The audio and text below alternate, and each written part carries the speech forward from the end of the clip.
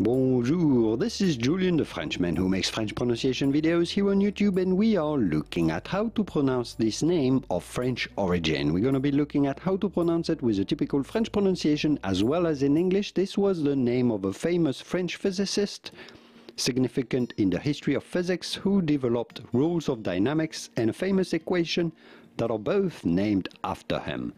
How do you go about pronouncing this name in France? We would say Langevin. Langevin. Paul Langevin was the name of this famous French physicist, but it'd be fine in English to say Langevin. Langevin. Here are more videos on how to pronounce the names of famous people from France, significant in history, in fashion and beyond. Here they are. See you there to learn more.